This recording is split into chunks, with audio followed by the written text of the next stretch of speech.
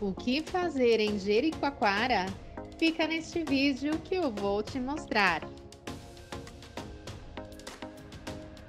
Mas se é novo por aqui, seja bem-vindo. Já se inscreve no canal, deixe o seu like e ative o sino de notificações para não perder dicas de viagem, curiosidades ao redor do Brasil e do mundo. Tijoca de Jericoacoara. Esse é o nome da antiga vila de pescadores e um dos destinos mais badalados do Nordeste. De acordo com o site do município, a praia de Joca de Jericoacoara foram as primeiras terras a serem colonizadas pelos portugueses no estado do Ceará. No ano de 1614, uma expedição militar conquistou toda a zona, habitada por tribos indígenas desde o princípio que se dedicavam à caça e à pesca nas redondezas da praia de Jericoacoara, se fundou um pequeno povoado que tinham como principais atualidades econômicas a agricultura e a pesca, dando origem à vila. Atualmente é um dos principais destinos turísticos do estado do Ceará.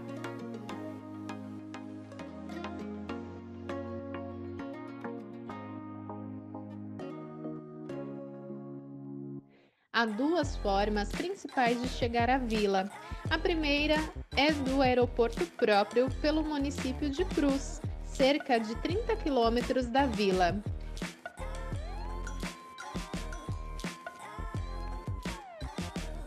Ou, se preferir, pode combinar essa viagem conhecendo as praias de Fortaleza, que fica a 300 quilômetros. Para as duas formas de trajeto, a melhor opção é contratar um transfer privado ou compartilhado com uma agência de turismo, até porque só carros credenciados podem circular pela vila. For com um carro próprio ou alugado, você terá que deixar no estacionamento. Para entrar na vila, é exigido o pagamento da taxa de turismo, para manutenção e segurança do local, no valor de R$ 41,50 na data da publicação desse vídeo por visitante para utilização de até 10 dias. Falando sobre o que fazer em Jeri, existem dois passeios mais comuns para este destino: o passeio ao lado leste e ao lado oeste. Ambos podem ser feitos de bug ou jardineira a ser contratado antecipadamente com a sua agência ou na chegada você pode negociar e contratar diretamente com os motoristas e garantir um desconto. Mas lembre-se sempre da segurança, contratando somente guias credenciados. E falando em segurança, se vai viajar dentro ou fora do país, contrate o seu seguro viagem com desconto de 15% pelo link na descrição desse vídeo.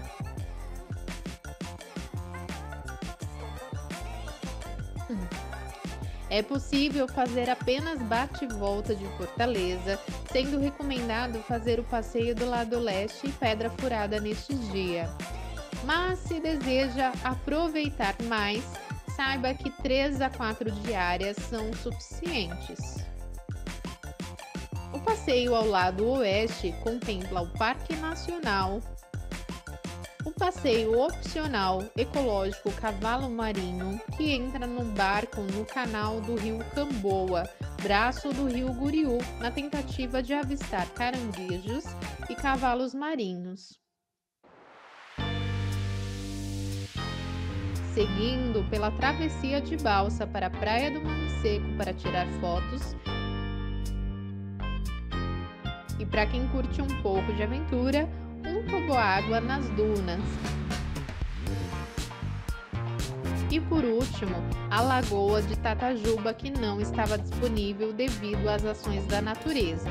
Essas imagens é de uma lagoa improvisada. Lado leste, na minha opinião, é o mais bonito e indispensável.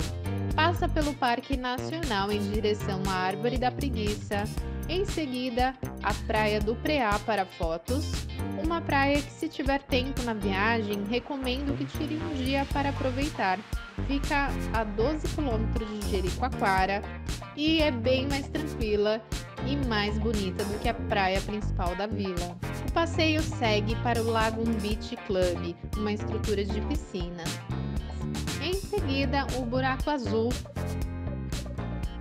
E depois, o lugar mais desejado de Jeri. Água doce e transparente. Parece mar, mas é lagoa.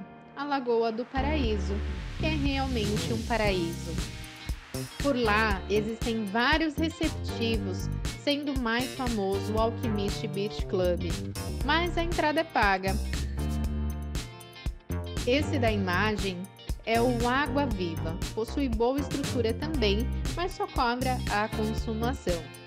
Você pode tirar um dia para aproveitar a Lagoa do Paraíso e contratar um transporte para levar e trazer até o seu hotel ou pousada. Ao final do passeio, a visita é às dunas do Amâncio, uma vista maravilhosa para apreciar o entardecer diante da imensidão de dunas e lagoas. Toda essa rota que listei são os passeios mais comuns, mas na contratação de passeio privativo com agência é permitido fazer alterações incluir, por exemplo, o passeio à praia e as dunas de Barrinha, que é tão lindo quanto os demais passeios.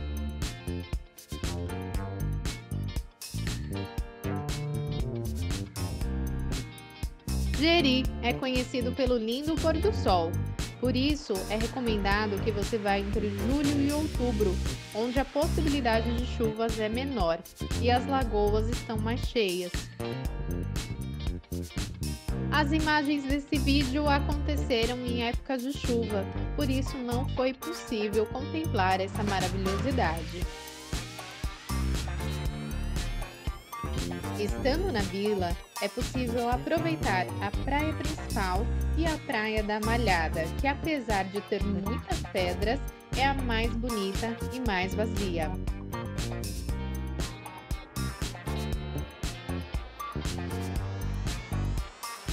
E também o maior cartão postal de Jeri, que é Pedra Furada.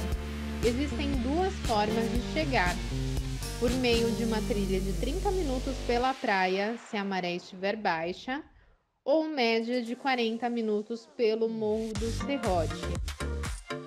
Mas lembre-se de passar protetor solar e levar água, pois o sol é quente e a sensação é de estar no deserto, o que acaba cansando um pouco mais.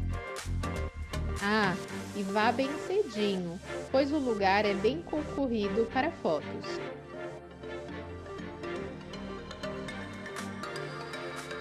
No início da trilha, existem carroceiros que ficam esperando passageiros para levar por um curso à.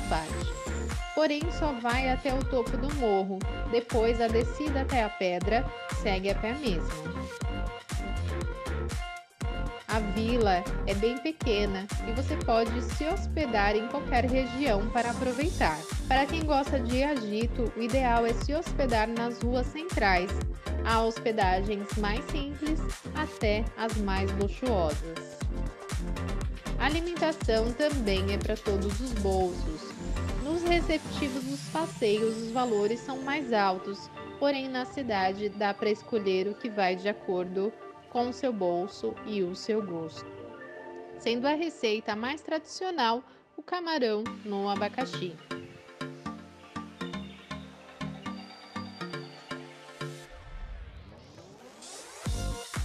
Deixe aqui nos comentários se você quer ver detalhadamente cada passeio destes por aqui.